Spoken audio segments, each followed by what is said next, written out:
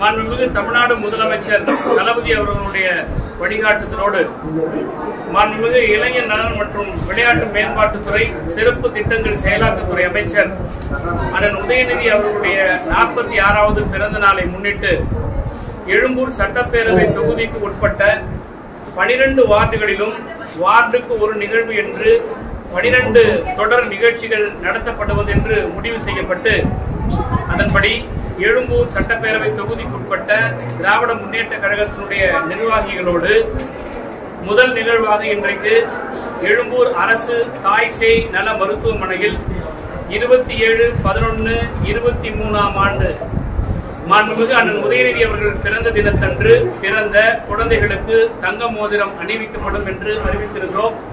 அதன்படி இன்றைக்கு எழும்பூர் அரசு தாய்சேய் நல மருத்துவமனையில் நாற்பத்தி ஆறு குழந்தைகள் என்ன ஒரு அதிர்ஷ்டம் என்றால் எப்பொழுதுமே சராசரியாக இந்த மருத்துவமனையில் ஐம்பதிலிருந்து ஐம்பத்தைந்து குழந்தைகள் பிரசவிக்கப்படும் ஒவ்வொரு நாளும்.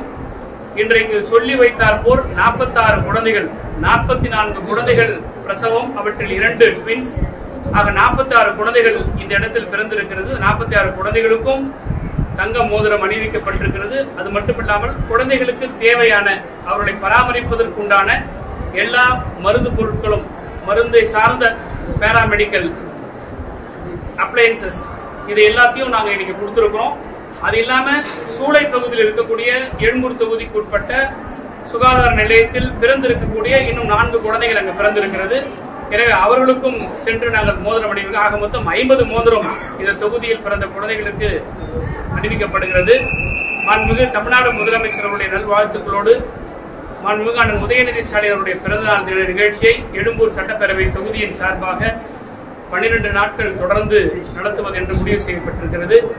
அவர் வாழ்வாங்கு வாழ வேண்டும் பல்லாண்டு வாழ வேண்டும். இந்த நாட்டை எதிர்காலத்தில் தலைமையேற்று நடத்த வேண்டும்.